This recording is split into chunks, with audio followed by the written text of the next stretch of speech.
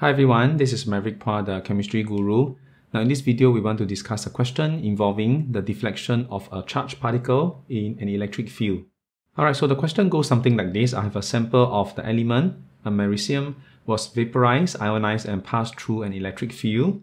The observation was that a beam of Am+, plus, the mass of this particle is given 241, so which is the nucleon number, give an angle of deflection of a plus 2 degree.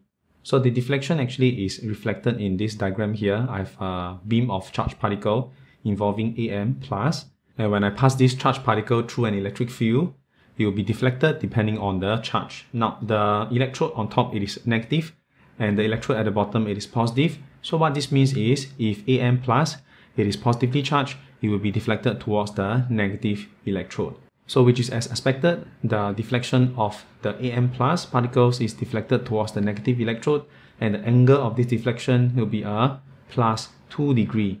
Now assuming an identical set of experimental conditions, by what angle will a beam of sulfur minus 32 particles be deflected? So we have four options here. So later we will try to determine which is the answer. Now the idea involving this question is actually pretty straightforward. The angle of deflection of a charged particle, it is actually related to its charge to mass ratio. So the concept that is important for us to answer this question is this idea here, the angle of deflection of a charged particle through an electric field, it is related to its charge to mass ratio. Q, which is the charge, and M, which is the mass of that particle. So in this case, since we're talking about ion, then the mass will be the nucleon number or the mass number. Now, if you think about this, actually it is pretty reasonable, right? Because if the particle has a bigger charge, then the attraction between the charged particle and the electric field will be stronger. So therefore, the particle will be deflected to a bigger extent. So the bigger the charge, the bigger the angle of deflection.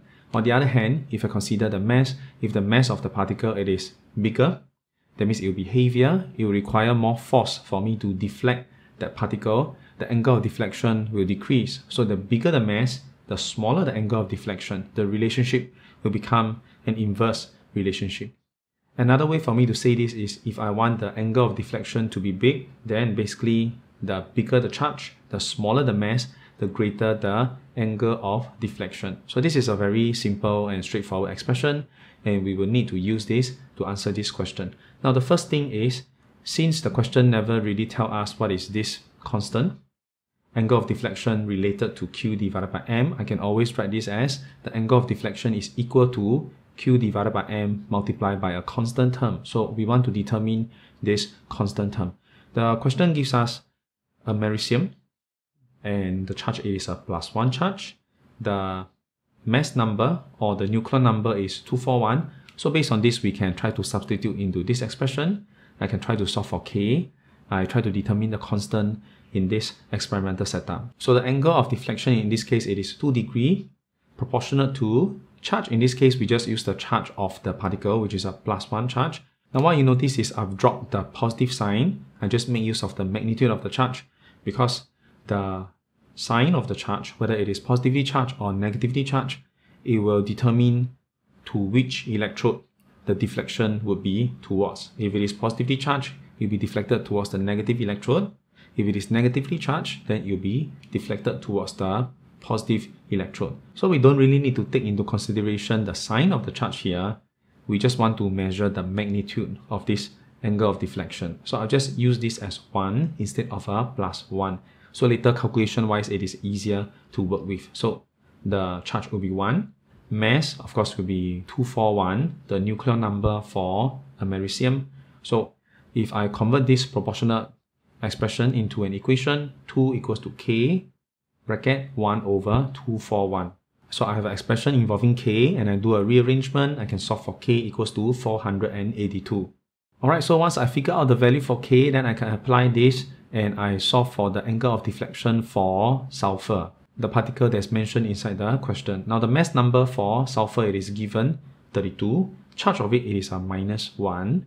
Again, for now, we don't worry so much about the sign of the charge because later we will account for the direction of deflection, whether it is negatively charged or positively charged. So what we do is we just focus on the magnitude of the angle of deflection. So the angle of deflection is equals to a constant term multiplied by charge ratio, charge divided by mass. Now the K we have determined previously, 482.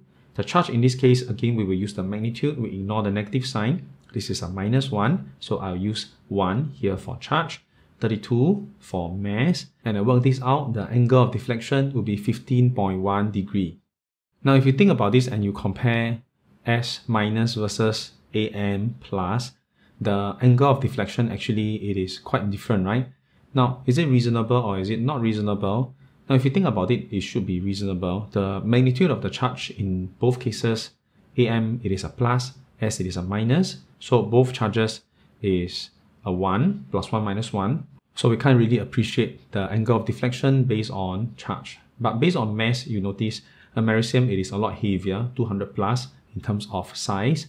Sulfur it is much smaller in terms of size. So we know that it is much lighter as compared to Americium. In terms of the angle of deflection, we will expect it to be deflected to a bigger extent because it is lighter. So therefore the same amount of force will deflect sulfur to a much bigger extent.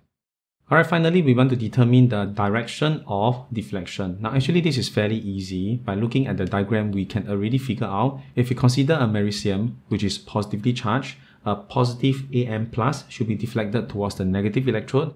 So therefore, the angle of deflection, it is a plus 2 degree. Now, if S minus, it is negatively charged, then it should be deflected towards the positive electrode because unlike charges will attract each other. So the negative species will be deflected towards the positive electrode. For this question, the angle of deflection should be a negative sign because it's deflected towards the opposite direction towards the positive electrode.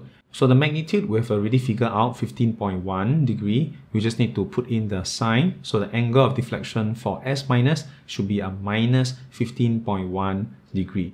Now based on this answer, and we compare the options given inside this question, the answer for this question should be B. Alright, so that was a very simple exercise involving the deflection of a charged particle through an electric field. So if you have learned something useful from this video, please give me the thumbs up, like this video, and subscribe to my YouTube channel for more weekly video lessons. That's all for now. Thanks for watching.